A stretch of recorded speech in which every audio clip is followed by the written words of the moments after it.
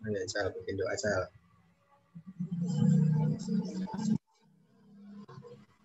Uh, eh, sebelum kita memulai, mohon izin dokter, sebelum kita memulai tentiran kali ini, uh, semoga acaranya berjalan dengan lancar, uh, dapat ilmunya nanti supaya bermanfaat bagi semuanya.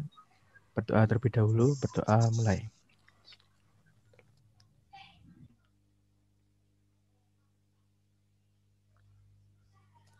Dapat diakhiri. Bismillahirrahmanirrahim. Yuk, uh, bisa di-accept dulu, Vi, pesertanya. Semangat, Dara.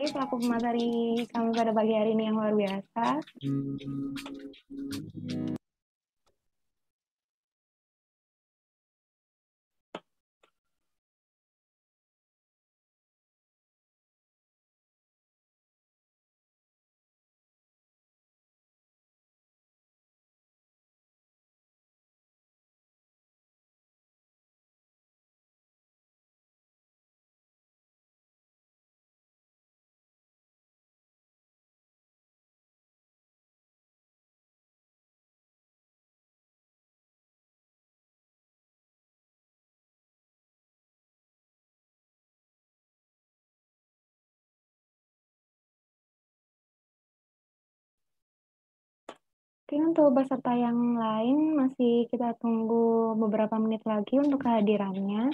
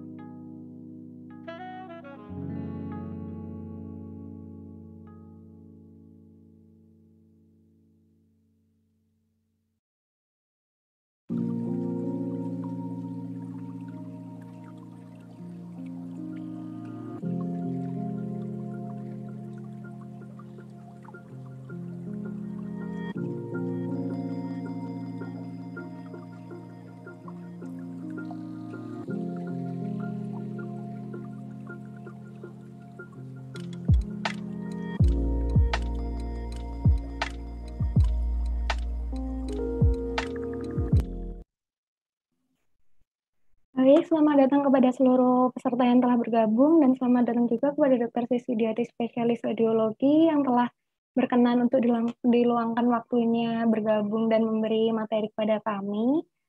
Sebelum kita mulai acara kelas radiologi pertama, yaitu overview USG abdomen, oksigen, dan FAS, maka ada baiknya kita awali dengan berdoa terlebih pada pagi hari ini dan menjalankan uh, kelas dengan harapan uh, dilakukan dengan lancar. Uh, kepada peserta dan teman-teman sekalian berdoa dipersilahkan.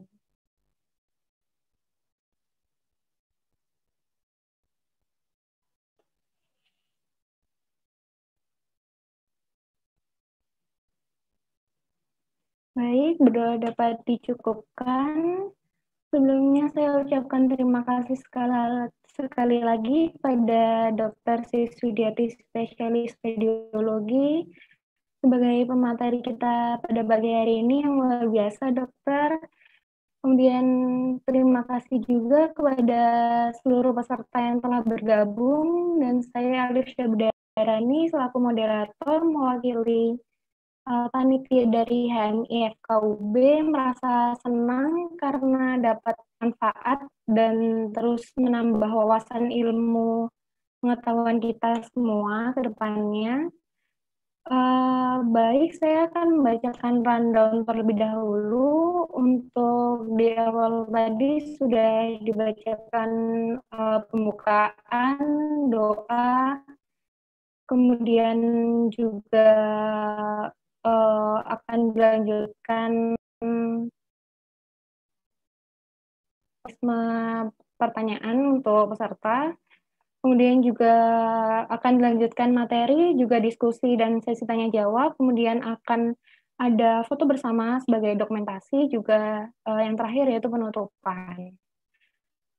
Baik, kemudian saya izin untuk menjelaskan mekanisme tanya jawabnya sendiri. Jadi untuk uh, peserta sekalian pada kepada eh, pada komen di Zoom dan di YouTube nanti di sesi diskusi dan tanya jawab akan saya bacakan.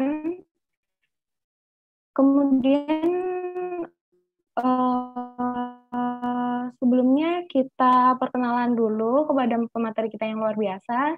Beliau merupakan staf radiologi di RSSA, kemudian langsung saja kita sambut Dr. Siswi Diati, spesialis radiologi, waktu dan tempat kami tunggu radiologi, waktu dan tempat kami persilahkan.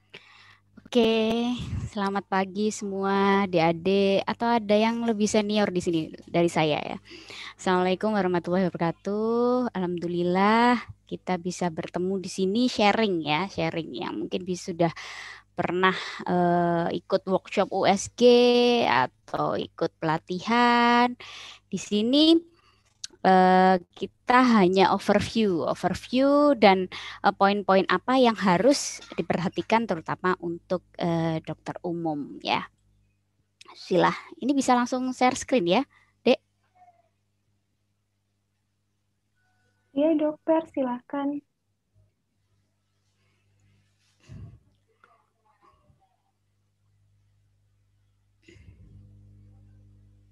Sudah sudah bisa terlihat ya?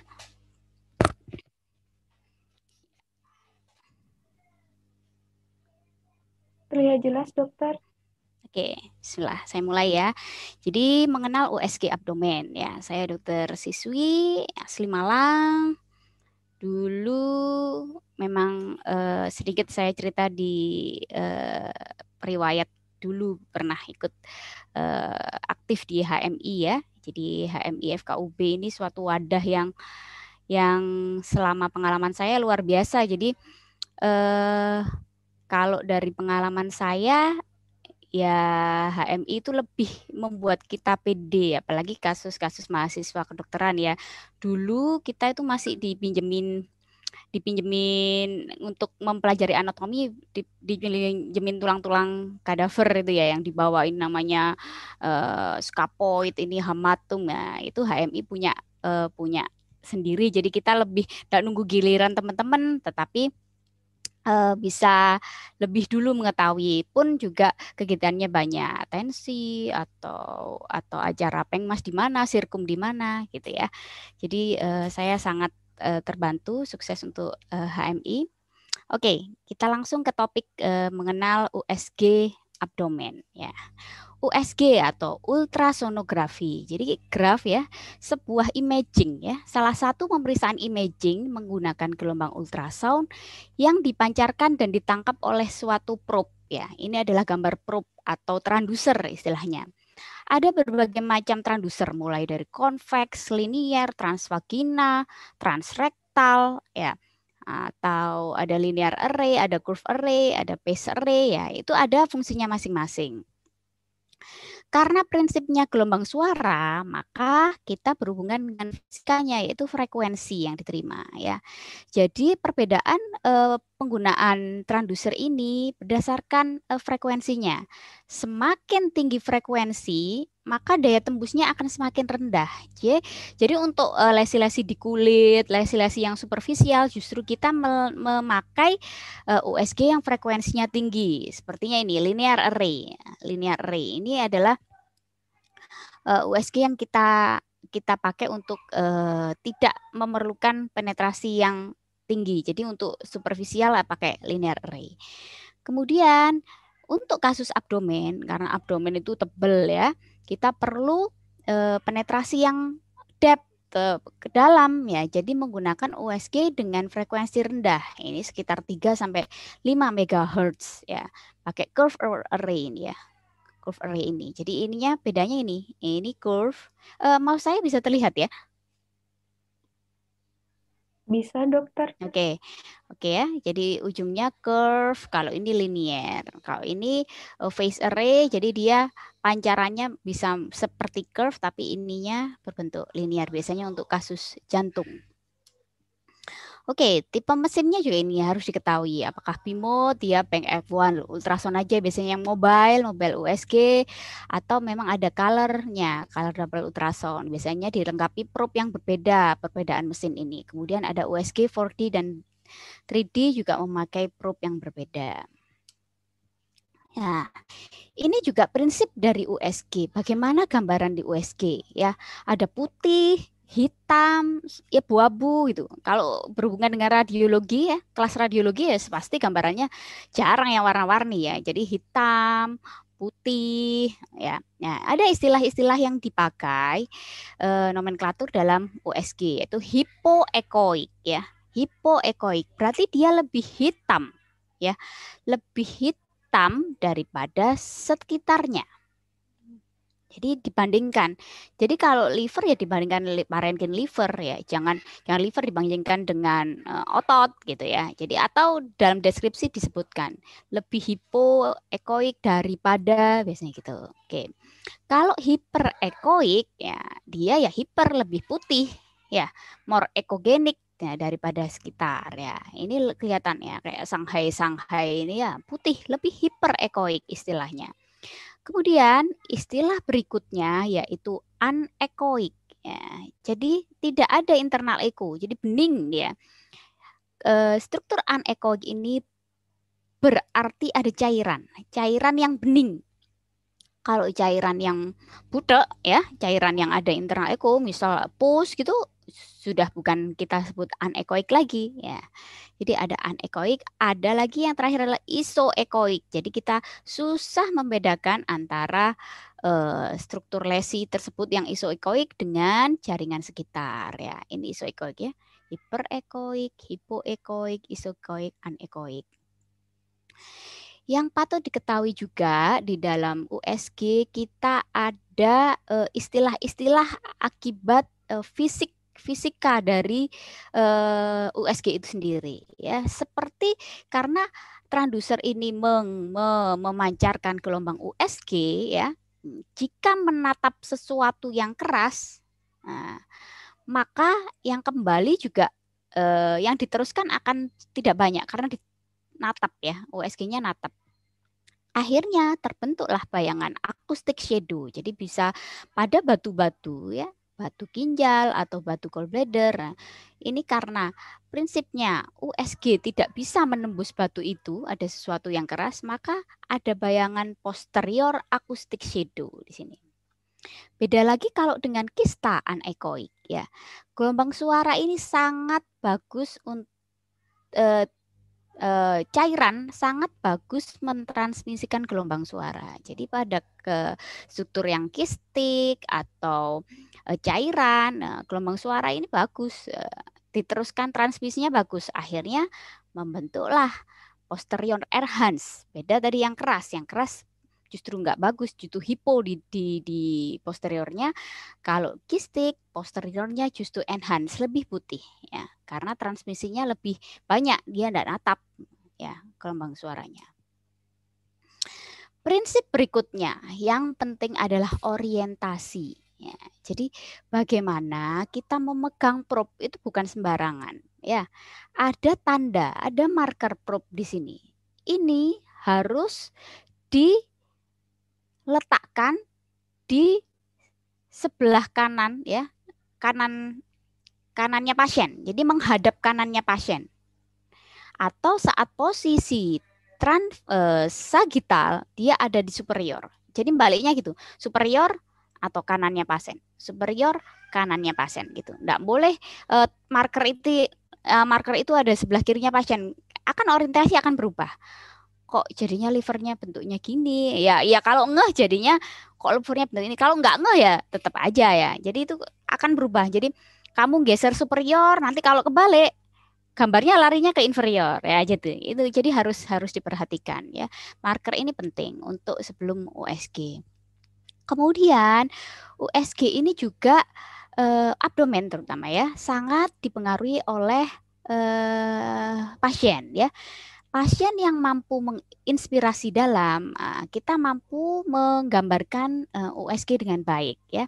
Karena organ-organ tertentu terutama upper ya, upper kuadran itu kadang-kadang tertutup kosti. Jadi dengan inspirasi dalam biasanya kita ambil nafas Bu, tahan gitu ya. Nah, dia akan e, karena diafragmanya turun ya, prinsip fisiologisnya, maka organ-organ yang uh, tertutup poste jadinya ikut turun. Jadi perlunya inspirasi itu gitu. Inspirasi dalam. Jadi akhirnya bisa mendekatkan probe kita ya, itu akan akan tergabung bagus ya. Jadi inspirasi dalam. Jadi lebih lebih windownya lebih jelas.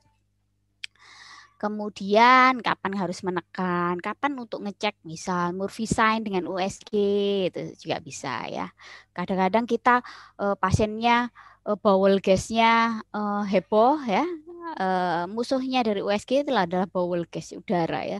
Jadi kadang perlu di kayak urut gitu ya, kayak diurut itu biar bowel gasnya agak ke bawah. Kita mampu menggambarkan dengan baik. Kalau menggambarkan dengan baik, pasti diagnosa akan aktivitasnya. Oke, ini ya cara USG ada sliding, sliding itu ya, nah, bisa ke kanan, kiri, atas, bawah. Hati-hati yang uh, marker orientasi tadi. Kemudian rotate, misal dari uh, transversnya, transversalnya gini, kamu rotate ke sagital bagaimana itu rotate harus main harus enggak uh, boleh carpal tunnel ya jadi harus luwes kalau memang USG memang Kemudian tilting ya, eh, ngintip kanan, ngintip kiri atau rocking, dia agak nekan-nekan gitu. Ini strukturnya jadi penyet nggak kalau tak tekan gitu. Jadi ini adalah posisi-posisi yang harus diketahui saat USG abdomen ya. Indikasinya apa? Ya apa yang perlu diketahui ya? Ada fungsi abnormal dari organ, misal URCR tinggi, kamu biasanya cek lab dulu ya, karena USG lebih mahal daripada cek lab, adik-adik. Nah, cek lab dulu, ternyata kok OTPT eh, tinggi, ya bagaimana livernya? Itu perlu indikasi. Atau URCR tinggi, bagaimana fungsi ginjalnya ginjalnya sudah uh, kronik ADCKD atau uh, AKI gitu. USG ya. Ada palpable mass, USG, abdominal pain, USG, vomiting, diare, hematuri, cancel paging. Ya. Ini USG USG untuk radiolog ya. Kalau eh, porsinya adik-adik dokter umum ya paling enggak uh, untuk merujuk ini merujuknya ke mana atau me, masalah emergensi ya kalau palpable mass gitu ya rujuk aja ke radiolog ya guiding aspirasi biopsi injeksi gitu ya Oke, prinsipnya bagaimana? Harus sistematis ya. Diharap dengan adanya tentiran ini sistematis nanti nantinya sekarang soalnya di puskesmas juga udah ada USG ya. Jadi eh, harus sistematis nanti kalau nyeken liver itu ya ya mesti mesti gini gitu. Nggak boleh aku ah, aku liver dari angling dari superior lah. Gitu. Nggak boleh ya. Setiap scan harus sama. Kalau aku ngambil pasien ini pasien lain juga tak scan sama gitu ya. Kemudian titik-titik pengambilannya harus diketahui. Kemudian prinsipnya yaitu tahu anatomi sama, sama abdomen mana ya sama tahu anatomi. Cuma ini diintip pakai USG ya. Kalau transdusernya taruh di upper right, right upper quadrant ya paling nemunya liver. GB kalau nggak situs inversus ya, ya nemunya itu ya tahu anatomi aku mau cari VU ya enggak mungkin kamu geser ke left upper quadrant enggak mungkin VU anatominya di mana? Ya di pubis. Ngintipnya di pubis itu sen ya kayak center ya. Kamu mau nyenteri apa ya? Itu yang dicari gitu ya. Kemudian berlatih. Ini harus banyak berlatih. Kemudian yang selanjutnya adalah pelajari normal ya. Kalau usia tua kok kayaknya kayak eh, CKD semua gitu ya. Atau anak muda bayi bayi itu juga beda ya. Ada ada variasi normal uh, sesuai usia atau gender. Kalau perempuan ya harus tahu itu terus mana. Kalau laki-laki harus tahu itu prostat di mana atau gemuk. Gemuk itu kadang ya fat ini ya kalau nembus ultrason kadang kok nggak kelihatan semua ya itu ada di ya ada ada ada normal tapi dia ada variasi gitu ya. Setelah tahu normal baru ngeh kalau ada oh ini abnormal nih kok nggak kayak normalnya ini berarti tahu apa ada ada sesuatu. Nah sesuatu apa bisa bisa mencurigai sesuatu sesuatu atau kamu bisa tepat merujuk ke mana? Ini kasusnya bedah atau kasusnya IPD ya gitu ya. Intinya tahu abnormal nggak nggak harus tahu semua nggak harus tahu semua cuma dengan ngintip wah ada sesuatu ini. Nggak nggak kayak normal itu bisa tahu arahnya, oh, merujuk ke mana ya. Oh ini emergency, oh enggak bisa, oh bukan emergency. Nanti kontrol disurati ke dokter ini sekian atau ke periksa lab dulu atau periksa USG dulu gitu. Oke. Ini adalah organ-organ di intraabdomen. Ya seperti itu tadi anatomi basicnya. Kalau di right upper ya, ya ada hepar, Epar ini bisa di-scan di mana ya di subcoste ya. Probe-nya ditaruh subcoste atau intercoste ya. Kalau di subcoste gambar left liver lobe, ini right liver lobe ini ya. Ada tanda tulisan nyuntuh ini ya. Loh, kalau kamu naruh di sini gambarnya seperti ini. Kalau LLL naruhnya secara sagital ya, gambarnya e, markernya gini ya, itu berarti gambarnya gini naruh nyarinya di sini kalau liver. Kalau pada pasien-pasien tertentu yang tidak bisa nafas ya misal dia susu tidak sadar sendiri kita tidak bisa maksa maksa dia ambil nafas kita nungguin probe di sini ya, ada celah antar interkoste jadi ngintip-ngintip di antara tulang-tulang itu nah, jadinya gini orientisanya beda jadi ini yang superior ini yang inferior karena probe-nya gini ya probe-nya gini ini superior ini inferior. Kalau posisi uh, internasionalnya ini super. Kalau probe-nya longitudinal ini superior, ini inferior. Nah, gitu ya. Kalau probe-nya transversal ini kanan, ini kiri ya. Ini anterior, ini posterior. Itu udah standar, standar. Oke. Setelah liver oke bisa gallbladder ya itu mirip-mirip di daerah situ ya. Tahulah hilus di mana gitu ya. Palpasi oh hilus agak sini lebih ke midline ya gallbladder. Nemunya apa? Ya gallbladder anatominya apa? Anatominya isinya cairan empedu. Berarti ya cari struktur yang anechoic itu tadi karena yakin kita kita tahu gallbladder isinya empedu cairan. Jadi strukturnya cari yang hitam jarang cari yang putih ya ya ini strukturnya gallbladder dekat liver seperti kantong ya Gimana syaratnya biar bisa lihat gallbladder yang bagus? Ya harus puasa, ya puasa. Karena kalau dia nggak puasa, makan fat, dia kontraksi. Akhirnya kita bingung, ini kontraksi karena nggak puasa atau kolesistitis kronis gitu ya. Jadi uh, eh, USG abdomen syaratnya juga gitu, puasa, kecuali yang situ ya. Oke, setelah liver, GB ya kita turun sedikit ya posisi posisi transdusernya longitudinal uh, melorot sedikit. Nah, kita agak ke posterior ada ginjal ya. Jadi dia lebih uh, livernya lebih anterior, ginjalnya lebih posterior. Nah, nemu ya liver. Ada di sini hepatorenal fossa atau Morrison pouch yang nanti pada fase penting ini nah, titik-titik cairan-cairan, ada cairan enggak di situ ya. Kemudian pankreas di mana ya? Dia organnya di di epigastrik. Ya, probe-nya yang ditaruh di epigastrik dengan posisi transversal gini ya. Nah, bagus nih, ini pankreasnya. Oke. Spleen, spleen dia di kiri ya. Jadi kita nggak usah minggir ke kiri ya, meluk, meluk pasiennya dipeluk. Nah, probe-nya ditaruh Nah, pasiennya kan supine ya. Kalau USG abdomen supine, kita meluk ya, sisi kirinya. Ya cari struktur spleen. Ya, ya kayak liver, ekonya kayak liver, iso ekoik solid eh, kayak liver. Terus eh, dia di bawahnya ada ginjal, geser geser ke bawah kalau ginjal, spleennya di atas. Atasnya sudah paru, ya memang itu ini paru, spleen, bawahnya ginjal gitu. Ya tinggal geser-geser aja, longitudinal. Oke, ini ginjal itu tadi tinggal geser. Ginjal kanan ya sebelah kanan, ginjal kiri sebelah kiri. Anatominya ya kayak di sobota ya. Ya ginjal bentuknya seperti kacang ya. Ada di situ ada pelviokaliseal melebar ndak. Kalau melebar bagaimana ya? Kalau hidronefrosis ya pasti isinya e, cairan. Nah, cairan tadi apa warnanya? Hitam ya. Cari yang bentuknya kayak pelviokaliseal e, warna hitam gitu. Itu ya ginjal kanan, ginjal kiri, ada medula, bagaimana ini parenkimnya gitu. Oke, setelah itu kita bisa lihat bawel ya. Bawel yang menebal itu bisa melihat dindingnya. Tapi terkadang uh, isinya kalau banyak udara kita nggak nggak lihat apa-apa. Jadi nilai diagnostiknya misal kalau ileus diminta USG ya ini gambarnya seperti ini.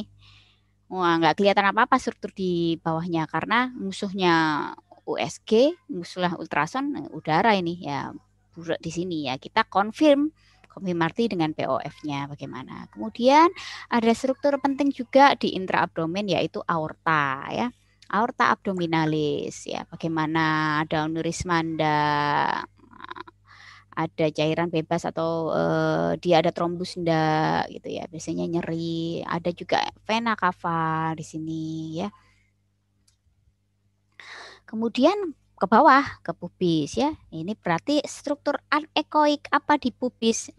Ya pipis ya VU ya bladder ini ya. Secara sakital sekarang transverse biasanya. Atau kasus-kasus uh, dokter umum biasanya kateter ya. Bener gak sih? Balonku masuk ya. Sepertinya seharusnya nggak USG pun nggak apa-apa ya. Masuk keluar purin pasti di dalam itu. Tapi cuma ada uh, kasus-kasus tertentu perlu diintip biasanya di vagina atau di kok nggak keluar cairannya? Itu ente bisa. Ngintipnya di mana ya? Supaya pupis letaknya VU di mana anatominya? Begitu ya. Pokoknya itu. Hati-hati hati-hati uh, untuk uh, kista ataupun uh, bladder ya. Makanya gimana lebih objektifnya? Suruh USG saat pasien uh, saat pasien nahan pipis ya. Jadi kita benar-benar oh ini anatominya VU ini posteriornya secara sagital uterus. Kalau cowok di sini prostat. Nah jika ada struktur kistik lagi tidak berhubungan dengan ini pasti itu hmm, ada sesuatu entah kista entah lain. Jadi e, beberapa e, kasus ekspertis e, dikira kista padahal pipis ya gitu. Jadi objektifnya bagaimana? Ya ya tahan pipisnya. Kalau di luar struktur itu ada struktur lain berarti ada sesuatu gitu. Kalau sudah dia penuh tidak ada struktur lain ya itu pasti bladder gitu. Dengan dengan orientasi yang betul gitu ya. Oke, ini tadi ya kelainan patologi pada USG sangat banyak, sangat banyak ya. Asal saya ya asal tahu anatomi, asal tahu normalnya dulu, normalnya dulu. Seperti ini ginjal kiri ya, markernya di kiri. Ini bentuknya ginjal, persis kayak anatomi. Cuma warnanya hitam putih itu aja ya. Ya, ini ada pelvis dan kaliks yang melebar ya. Kenapa hitam ya? Karena isinya cairan anekoik ya lebar. Kita istilahnya ya hidronefrosis. Kok nyeri pinggang, flank pain gitu ya. Intip lah. Kalau kondisi yang kalau enggak, kalau enggak rujuk aja ke radiolog ya. Tuh lihat ngintip-ngintip ini, belajar ngintip, belajar ngintip. Yang penting kan tidak mengeluarkan ekspertis ya sesuai peraturan. Oke. Oke, ini gallbladder nih, ada batu-batunya. Saya kok mah dikasih obat mah enggak sembuh-sembuh. Ya, kalau sudah gitu perlu USG, eh, kelainannya GB bisa terlihat, bisa terlihat dengan USG atau uh, tambah turun berat badannya ternyata ada nodul-nodul. Nah, ini skill. USG ini ilmunya ya ilmu anatomi, yang lain adalah yang banyak adalah skillnya. Oke, ini kasus ya McBurney pain ya, McBurney titik McBurney ya. Ada struktur plan N ya, nah, kayak cacing gitu ya, vermiformis. Ada kalsifikasinya, ada posterior nih, Dek. Ini posterior akustik shadow yang itu prinsipnya. Nah, berarti ada yang keras di sini ya, yaitu appendicolitnya ya kayak tadi posterior ya. Jadi artefak-artefak dari USG itu ada yang membantu, ada yang ada yang me mengaburkan ya. Jadi kalau kita ini membantu ini ada oh ada bayangan berarti ada yang keras ini oh appendikolit ya. pun juga batu-batu di di tempat lain posterior akustik itu. Oke. Kita masuk ke fast ya. Fokus assessment with sonography in trauma ya. Prinsipnya ya ya anatomi ya. Kalau pasti sama kayak USG, kamu mau mau mau cari apa? Jadi posisinya posisinya terlentang, pasiennya kondisinya ada jejas, jejas tumpul ya yang di fast itu jejas tumpul. Kalau jejasnya tajam enggak.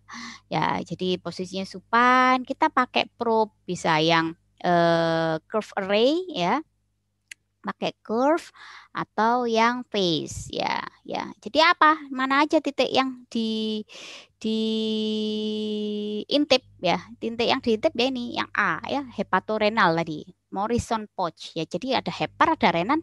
Lihatlah intinya lihat cairan kalau fase itu. Lihat apa cairan? Berarti yang dicari apa? Ya yang anekoik cuma letaknya di poin-poin ini ya A ada hepatorenal reses, B ada perisplenik atau splenorenal, bisa ada subsifoid yang D dan ada suprapubik, ada cairan di situ Douglas kayak ada perivesika itu. Intinya cari cairan. Intinya ya mirip USG cuma kita lebih cepat dan fokus gitu. USG abdomen sama. Kalau radiologi dalam fas selain cairan kita lihat mungkinan cairan ini dari mana, laserasi di organ apa itu lebih detail ya. Kalau cairan cairan cairannya berapa ribu, nah itu bisa diintip, diperkirakan ya, berdasarkan diperkirakan ya. Ini hepatorenal fossa. Lah itu dia di angling-angling gitu ngintip loh. Ternyata cairannya tetap ada tuh. Nah, struktur anekoik di Morrison Pouch. Nyarinya di situ. Titik pertama ya.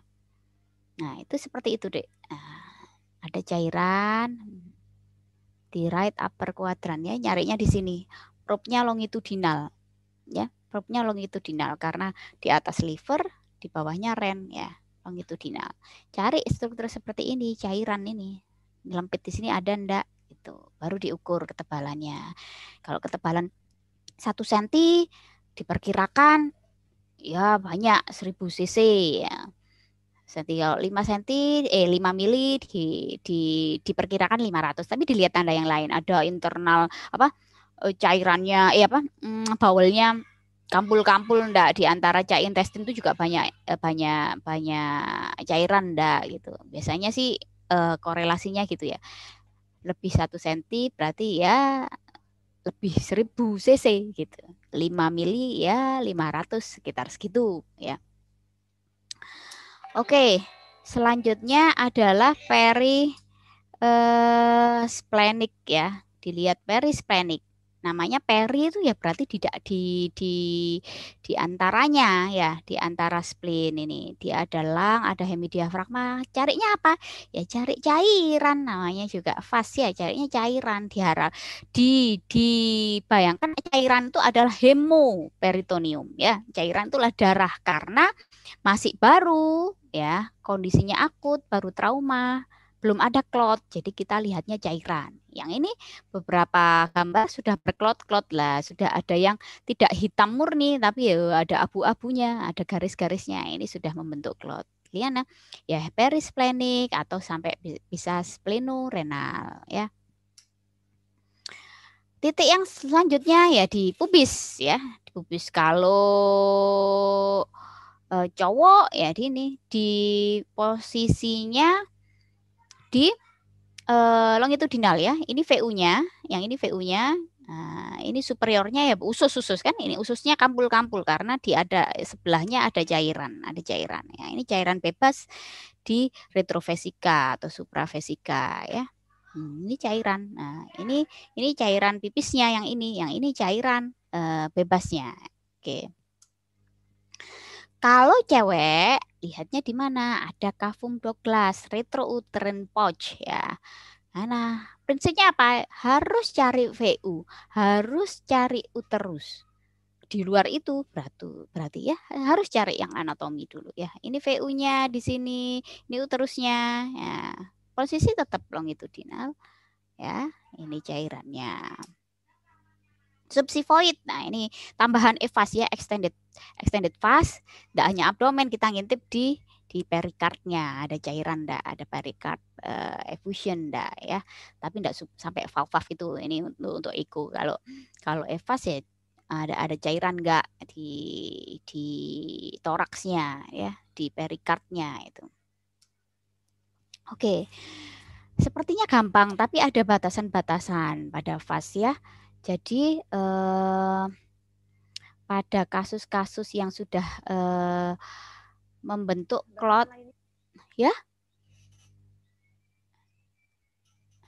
uh, pada kasus-kasus yang sudah membentuk klot uh, ada uh, kadang isu sama isu kilnya. Kita tidak ini ini cairan atau enggak? Karena sudah isokoik sudah membentuk klot. Kemudian uh, kadang ada positif palsu. Jadi pasien trauma tapi dia dengan hipoalbumin. Jadi asites juga.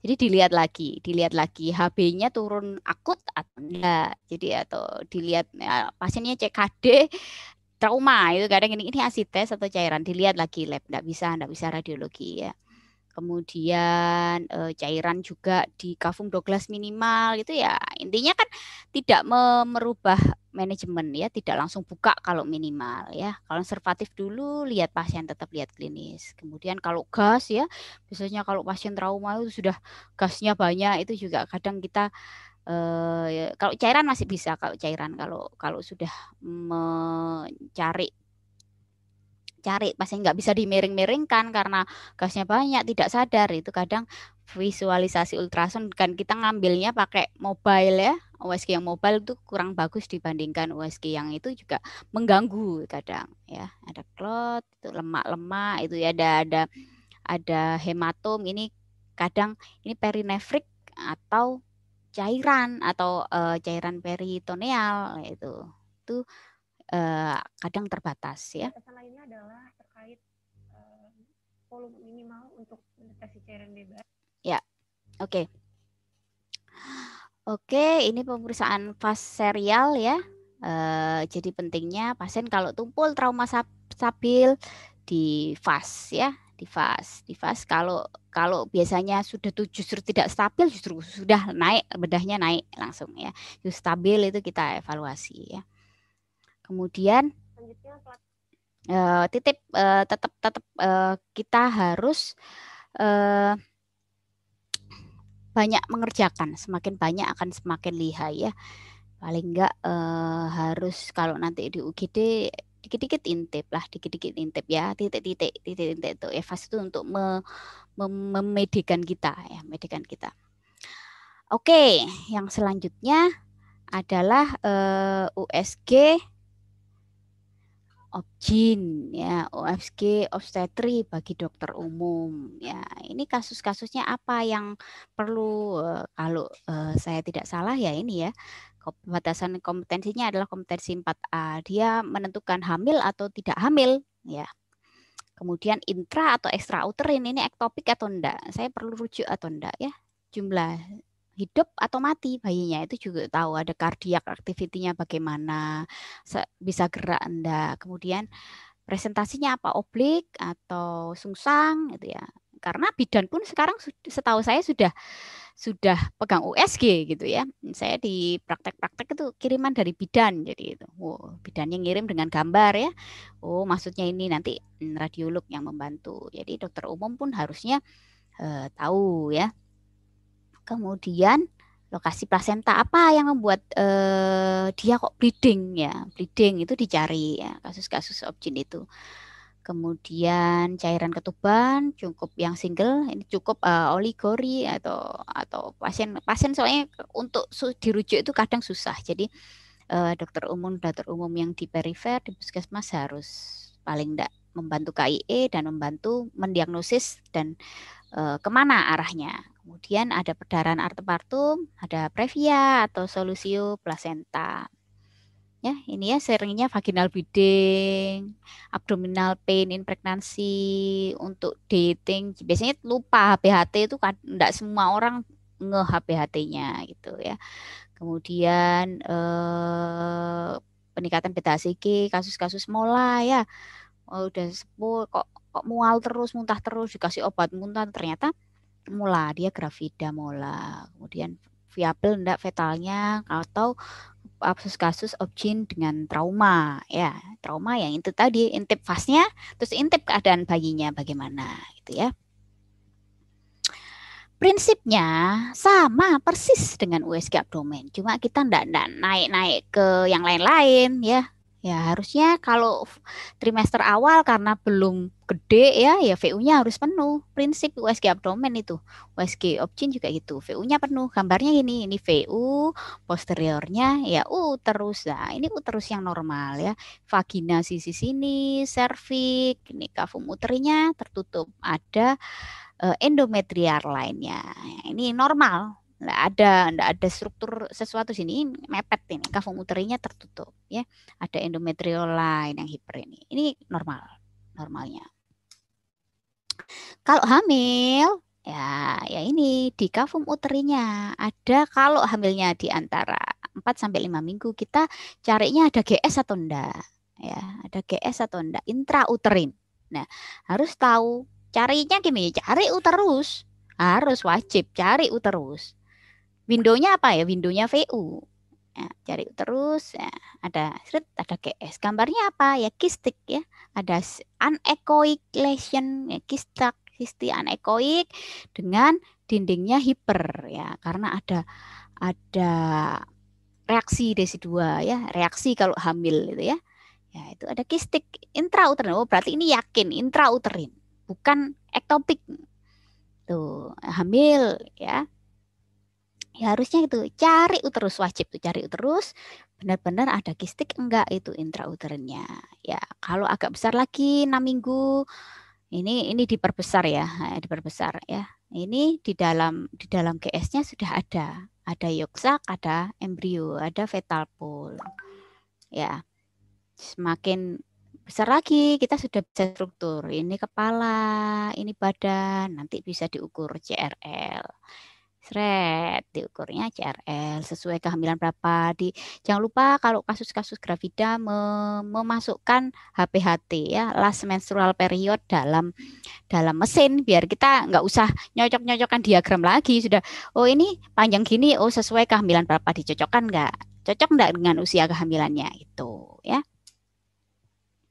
Nih, terus viabel enggak ya dilihat pergerakannya. Berenang-renang enggak dalam amnion atau lihat sudah ada kalau trimester awal ini sudah CRL sudah bisa terlihat detak jantungnya. Pakai Doppler atau pakai Dopplernya biasa itu atau pakai USG USG Doppler dia dup dup dup dupnya itu heart rate-nya. Ya disesuaikan normal. Oke. Kalau kehamilan ektopik bagaimana ya kita tidak lihat tanda-tanda kehamilan itu tadi di intrauterin. Nah, itu. Nah, itu gampangnya, gampangnya. Tetapi kadang sign center itu itu ada sign-sign itu ball ring sign, ring over sign ya. Kemudian ya tidak ada GS uh, ada GS, ada DJJ tapi di luar uterus. Carinya gimana? Cari uterus dulu. VU uterus wajib ini. Kalau nggak ada tapi dia hasil GTS-nya positif, cari di daerah situ di adnexa. Ada enggak struktur yang GS yang kistik tadi di luar uterus? Ya itu. Ya tergantung tergantung usia kehamilannya ya. Kalau sudah usia sebulan, dua bulan kita bisa nemu janin CRL itu di luar kandungan. Kalau awal-awal ya masih GS itu tadi tuba ring sign. Ya tergantung ektopiknya di mana. Di daerah tuba yang kecil atau di daerah fimbri yang besar gitu. Kemudian cari cairan dia kehamilan ektopik atau kehamilan ektopik terganggu. Nah, kalau sudah terganggu sudah pecah-pecah ya ada cairan pasti ya. Dilihat juga labnya ya ini ring of fire ya pakai Doppler intinya ada GS di luar uterus gitu, terus gitu aja lah di mana pun dia ada. Fetal biometri ya ini kalau enggak itu di oper opjin aja enggak apa-apa ya. Dia gimana fetal biometri? Ya lihat BPD-nya biparietal diameter, lihat abdominal circumference AC, lihat femur length, nanti dicocokkan. Mesin-mesin sekarang udah seret, udah keluar fetal weight ya. Sesuai usia berapa gitu ya. Oke, lihat dia oligo normal ini ya, oligo dia uh, apa? Uh, amnionnya jumlah amnionnya, amnionnya cukup atau enggak gitu ya, dilihat diukur dengan vertical orientation. Kemudian kasus-kasus yang bikin bleeding ini plasenta. Plasenta itu uh, iso deh karena padat ya. Padat. Kamu kalau lihat plasenta uh, norong partus bentuknya padat ya. Berarti dia isoekoik. Adanya di mana? Nah, ini ya lihat lagi struktur. Ini ada VU, ada uterus. Dia kok nutupi keluarnya ini loh serviknya tuh di sini ya, ditutupi ditutupi sama plasenta ya jelas dia bleeding terus ya ini plasenta previa. Atau dengan usia tua biasanya kok mual terus kok ham hamilnya tidak sesuai. Ya biasanya sudah di umbilikus gini padahal baru enggak mens berapa ini diintip ternyata lah ini ada snowstorm ya. Kayak sarang lebah kayak ini, ya, ini mola hamil anggur ya kayak anggur. Ya kayak anggur anggur anggur. Ini hamil mola ternyata enggak ada janinnya itu rujuk ya Oh, sudah penutup. Jadi intinya anatomi ya, saya anatomi itu jangan ditinggalkan ya. USG memang operator dependen tapi ada view-view yang objektif yang bisa dibaca. Jadi kalau ora, eh, kita bikin kita operkan misal dianu ke eh, ke dokter spesialis jadi dokter spesialis itu tahu maksud kita. Jadi view-viewnya memang itu tadi yang lebih objektif. Kemudian bijak tidak semua uh, di USG bisa ya bisa memilih modalitasnya dan pelajari fisika. Nah, ini salah satu contoh USG 4D. Bukan anak saya ya, ini saya yang meriksa ya. Jadi bisa jadi USG, jadi tinggal tinggal main aja lah. Tapi prinsipnya sama, angling, angling, sagital, transversal gitu. Oke, ini sukaannya uh, angga tuh kali ya, tumbasmi karo tahu ya. Bisa tahun Bandung tetap kudu sinau. Oke, sekian dari saya. Terima kasih. Wassalamualaikum warahmatullahi wabarakatuh. Waalaikumsalam warahmatullahi wabarakatuh. Terima kasih banyak dokter, sangat sangat lengkap dan sangat membantu menambah ilmu bagi kami semua. Di sini kami sudah mendapat beberapa pertanyaan dari kolom Zoom dan YouTube. Langsung saja saya bacakan, nggih, Dok, pertanyaan pertama. Ini ada, uh, terima kasih dokter atas materinya, izin bertanya. Bagaimana cara menulis atau format kesimpulan pada pemeriksaan USG? Lalu, apakah ada pemeriksaan USG dengan kontras? Dan jika ada, pada kasus apa, nggih, dok? Terima kasih. Oke, saya tekankan lagi ya, yang menulis ekspertis adalah radiolog ya, bukan dokter umum. Itu perlu digarisbawahi biar kita sama-sama bukan uh, kompetensi kita sama ndak ya. Jadi uh, dokter umum membantu, membantu itu tadi dengan kasus-kasus tertentu, tidak untuk menulis ekspertis. Kalian boleh menulis ya di statusnya pasien, ya eh, statusnya pasien yang rujuk, nah, ketemu apa cairan di mana gitu. Jadi bukan untuk menulis ekspertis ini tolong digarisbawahi ya. Kemudian USG dengan kontras ya ada trans jadi kontras voters. Jadi untuk kasus-kasus tertentu justru biasanya uh, pertumoran di liver ya diinjeksi diinjeksi kontras tapi kalau kasus-kasus uh, emergensi enggak enggak perlu selama ini enggak perlu oke gitu dek baik dokter jadi untuk menulis ekspertisnya memang kompetensi dari kompetensi dari radiolog untuk dokter umum mungkin cukup untuk menulis rujukan begitu nggak dok? Ya, tulis di resep, resep ketemu apa gitu. Okay. Gitu. Baik dokter, uh, untuk pertanyaan selanjutnya, di sini ada pertanyaan izin bertanya untuk pemeriksaan USG opsin, apa saja yang perlu dilihat atau diperiksa pada pasien? Apakah semua yang diperiksa atau sesuai indikasi dan prosedur yang ada gitu nih dok? Ya, ya, yes. eh, tadi uh, mungkin telat ya. Ada tadi semua di kuliah saya, jadi tetap kita adalah sejawat ya itu harus di di kita tetap enggak uh, apalagi dengan uh, background ini ya kita di bawah HMI Islam ya kita ya saling saling membantu demi uh, manfaat demi banyak manfaat. Ya jangan nggak usah sikut-sikutan saya bisa ini kompetensi ini. Enggak enggak usah. Jadi ya lakukan uh, sesuai indikasi dan prosedur itu aja. Caranya bagaimana? Ya itu tadi. Kalau levelnya dokter umum ya sesuai kompetensi yang adik-adik tahu ya dia tahu hamil atau enggak di luar atau enggak itu tadi indikasi-indikasi indikasi-indikasi objin. Begitu juga eh, kasus-kasus abdomen ya. Sesuai indikasi ya. Kalau kamu di kota ya saat praktek di kota ada radiolog bingung ya udah oper aja gampang. Kecuali kamu di suatu pedalaman sendirian gitu. Itu tadi wajib. Daripada jadi membantu pasien ya. Itu fokusnya itu tadi sesuai indikasi sesuai kompetensi gitu kalau saya sih jawabnya gitu. Kalau monggo mau pelatihan lagi, monggo banyak banyak banyak online kelasnya atau workshop ya. Baik dokter, terima kasih. Jadi memang sesuai indikasi dan untuk uh, penilaiannya sendiri juga memang harus banyak berlatih begitu ya dok ya? Ya, ya betul.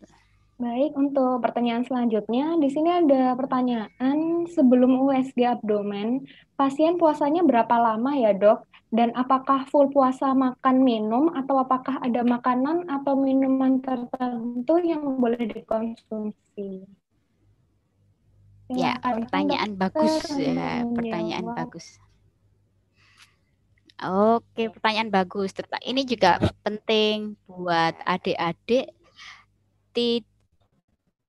mengerjakan USG saja, tetapi untuk merujuk. Jadi, Bu, ke, ke lab ya biasanya. Ke lab, udah datang sekarang ke labnya buka. Nah, ternyata sampai di lab belum persiapan. Nah, itu akan me, me pasiennya balik lagi, sudah bawa transport ke sana gitu ya.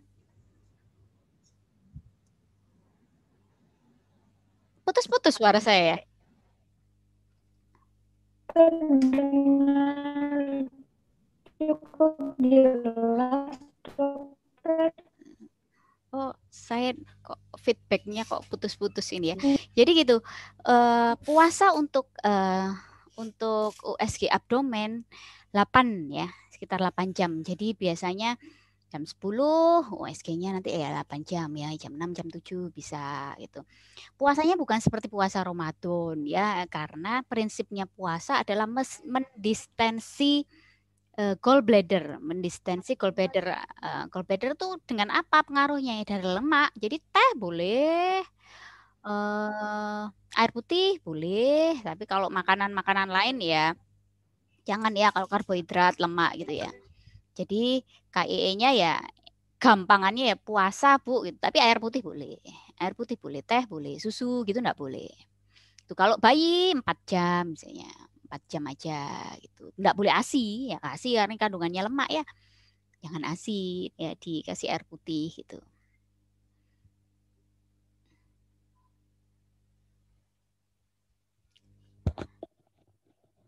Halo, saya kok nggak bisa dengar suaramu ya, Dek ya? Alif.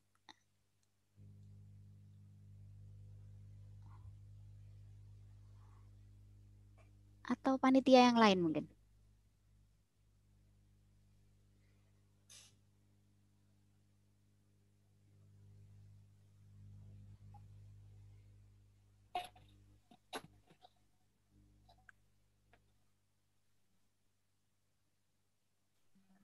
Halo dokter, apakah sudah terdengar? Ya, terdengar, tapi agak putus-putus ya.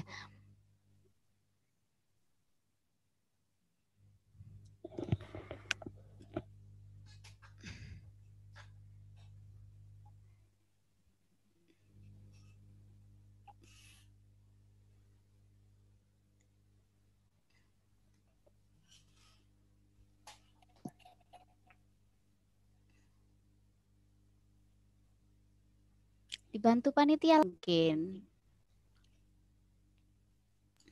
Uh, mungkin bisa saya bantu, dokter. Ya, sip. Uh, baik, uh, untuk pertanyaan selanjutnya ini uh, saya pernah menemui ibu hamil yang tidak mau USG berulang untuk mengecek janinnya dengan alasan berbahaya dan takut anaknya terlahir BPLR. Nah, mendengar info-info hoax, padahal belum ada penelitian yang membuktikan penggunaan USG tersebut bisa berbahaya untuk janin. Dan juga USG relatif aman untuk ibu hamil, sekiranya mengedukasinya seperti apa ya dokter? Untuk mematahkan mitos-mitos dan berita hoax di masyarakat.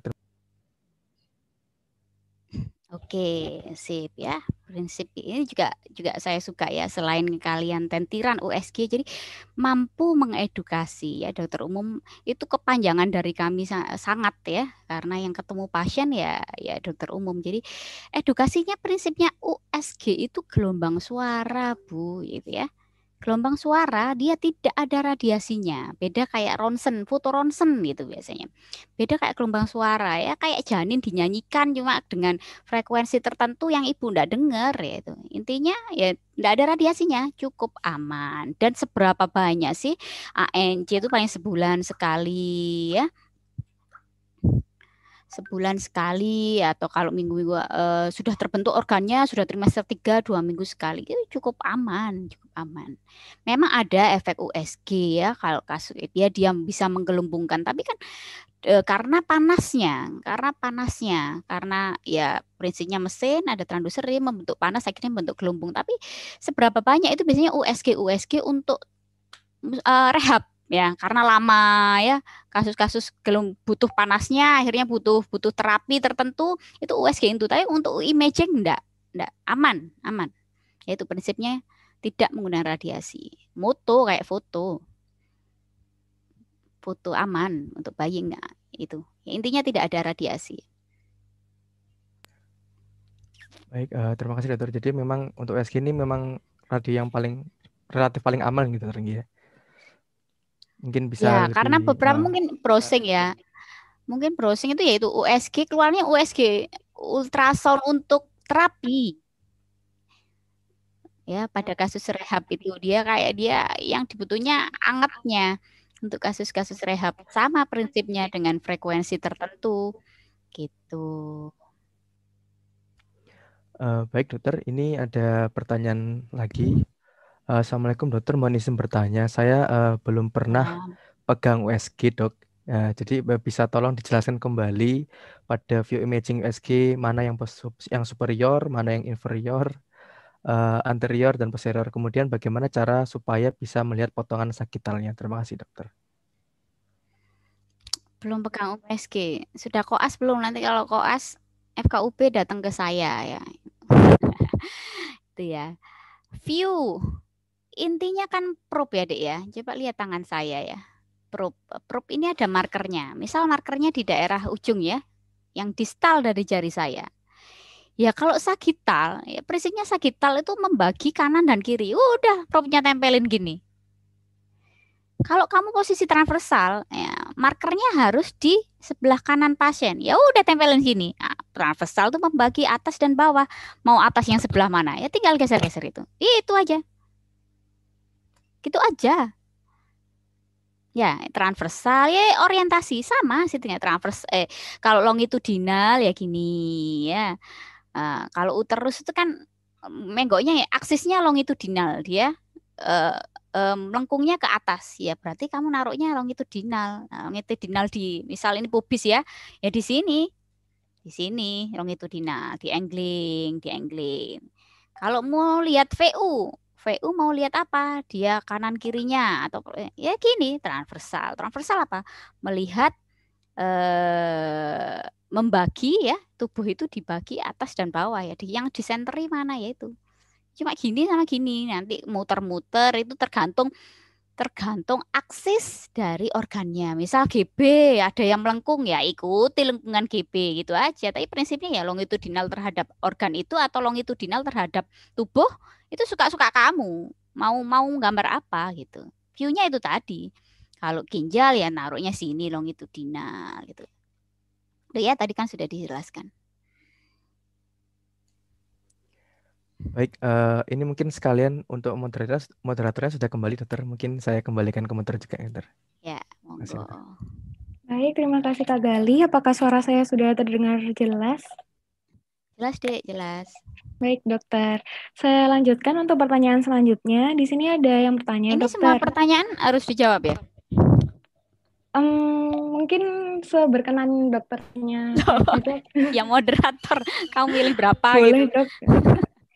Ya mungkin uh, untuk pertanyaannya ada tiga sampai empat pertanyaan lagi apa tidak apa dok?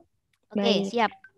Untuk pertanyaan selanjutnya dok, kapan jenis kelamin dapat dilihat pada janin? Karena banyak terjadi misinterpretasi yang membuat orang tua kecewa ketika interpretasi jenis kelamin anak ternyata keliru begitu dok. Silakan dokter. Oke, ini curcol lagi bumbil kayaknya ini. ya jenis kelamin itu itu kalau sepengalaman saya, saya juga selain di rumah sakit umum, ada di rumah sakit ibu dan anak ya. Jadi sering itu 4D, 3D gitu ya, kasus-kasus uh, kehamilan ya. Empat bulan itu sudah sudah bisa ya. Empat bulan sudah bisa. Justru bahkan kalau laki-laki uh, biasanya sudah muncul duluan itu skrotum penis sudah sudah dilihat. Ada sign-signnya deh, ada sign-signnya. Tetap lagi kan itu uh, ada tanda-tanda tertentu yang bisa dipelajari ya, tapi uh, perkiraan ya. Tapi kalau kalau ya tetap lihat organnya. Kalau lihat testis, lihat penis ya cowok gitu. Kalau kalau yang biasanya bingung itu uh, labia ya. Jadi klitorisnya yang agak menonjol itu biasanya biasanya yang meragukan. Tapi kalau cowok insya Allah sudah empat bulan itu sudah kelihatan. Tiga bulan pun bisa kadang sudah bisa terlihat begitu. Ya balik lagi seberapa sering lihat dan posisi adik bayi ya memang ngangkang atau di situ ada biasanya ada tali plasenta yang kayaknya panjang kayak penis itu ya pengalaman, pengalaman dan skill gitu ya. Baik dokter, jadi kembali uh, berlatih dan memang tergantung pasiennya juga gitu ya, ya okay. juga. Baik untuk pertanyaan selanjutnya dok, ada USG fast dilakukan pada saat secondary survei dan apakah dokter umum sudah dapat melakukan jika fasilitas sarana tersedia? Gitu dokter silakan. Uh, Intinya, adik-adik mengerjakan dan tahu manajemen selanjutnya. Kalau ngintip aja ada hemoperitoneum terus dibiarin, ya intinya intinya kalau saya ya, secara kompetensi ya memang memang untuk objin ya USG abdomen tahu di sini ada apa, di situ ada apa. Tetapi kalau eh, beda lagi dengan ada fasilitas dapat dari pemerintah USG ya masa tidak digunakan? Ya gitu. Ya prinsipnya gitu. Untuk kamu merujuk oh ini konservatif tak rawat sendiri karena cairannya sedikit atau kamu rujuk gitu. Kalau saya sih gitu. Yang caranya ya itu tadi ngintip cairan. Menurut saya ya pakailah pakailah dengan bijak gitu aja. Karena tanggung jawabnya ya ke pasien ke Allah gitu ya Baik dokter, terima kasih banyak. Mungkin ini untuk pertanyaan selanjutnya sekaligus menutup uh, sesi pertanyaan. Masih ada kaitannya di pertanyaan sebelumnya. Untuk USG FAST, apakah dapat dilakukan simultan pada saat primary survey, dok? Jadi kalau memang kondisinya akut trauma, biasanya kan mas uh, kalau di dok di US uh, di di setting UGD ya, di setting UGD ya prinsipnya tetap ABC ya. Jadi sembari oh jejas di sini-sini ada permintaan kita ngeledek USG sembari itu resusitasi cairan itu pasang RW gitu, gitu. Simultan bisa. Asal biasanya ABC itu nggak mungkin dia sesek kita sebentar uh, tangannya mesti gini itu enggak biasanya ABC dulu beda apa anestesi itu dulu aman pasiennya sudah uh, eh, ABC aman ya, oksigen dan lain-lain uh, infus udah terpasang baru kita. Nanti ngeriwui jadinya tambah adik ya. Akses infus belum terpasang pasiennya suruh gini kita nggak bisa lihat ginjalan gitu.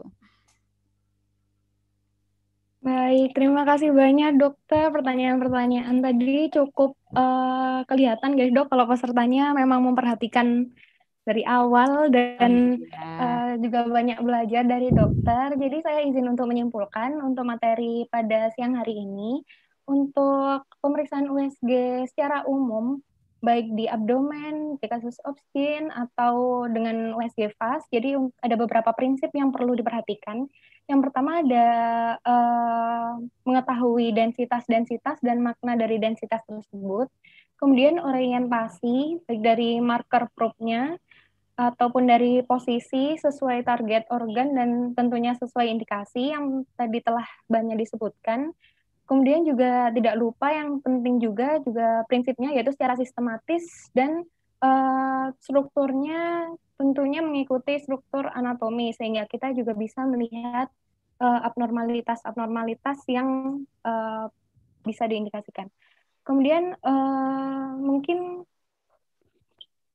bisa seperti itu dok saya simpulkan. Uh, terima kasih banyak kepada dokter Siswi Diati spesialis radiologi yang sangat uh, ilmunya sangat banyak sekali sudah berkenan untuk sharing juga kepada kita. Kemudian terima kasih kepada seluruh partisipan juga. Uh, semoga bisa berjumpa lagi di kelas selanjutnya. Kemudian sebelum kita uh, tutup uh, kegiatan pada pagi hari ini kepada eh, teman-teman, uh, dokter, kakak-kakak, dan seluruh partisipan yang ada bisa mohon untuk di on cam sebentar untuk uh, proses foto bersama untuk dokumentasi kepada panitia yang bertugas silahkan diinstruksikan. Kasih uh, untuk para peserta dimohon untuk mengaktifkan kameranya untuk dokumentasi.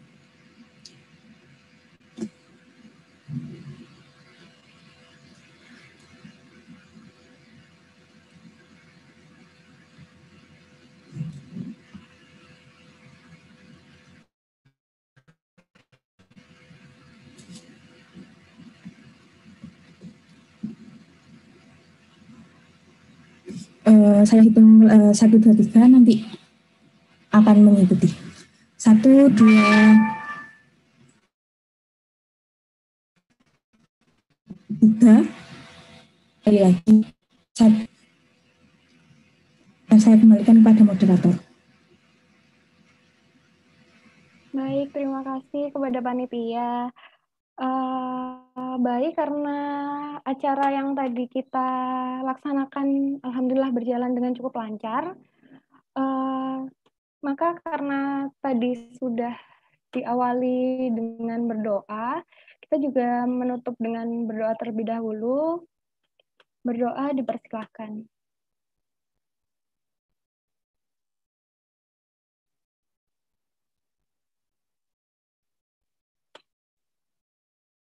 Baik, terima kasih uh, berdoa dapat dicukupkan. Sekali lagi terima kasih banyak kepada Dokter Siswidiati spesialis radiologi.